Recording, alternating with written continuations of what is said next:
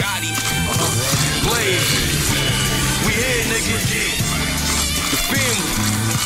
We cater.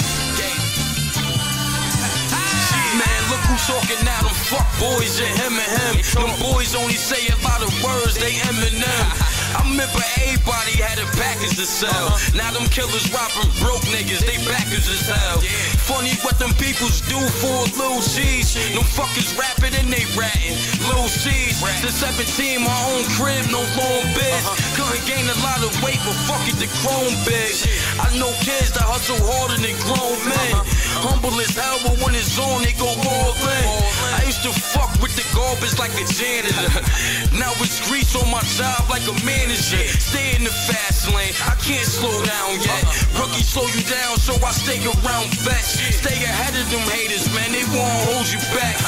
And friends change, all I know is my gat. Gator. We carry long guns, rapping them long runs, and every day we take a risk. Long as the money come. Started from a crumb, flipped it through the slums where them sentences get hung. I'm like, long as the money come, we carry long guns, traffic them long runs, and every day we take a risk. Long as the money come, started from a crumb, flipped it through the slums where them sentences get guy who's willing to hustle the most is going to be the guy that just gets that new ball. You know, he, got the oh, he got the oh, he got two. He ooh, God, he hustling grabbed that one. That was going to be out of bounds, but he said uh, back in. You're not going to outwork.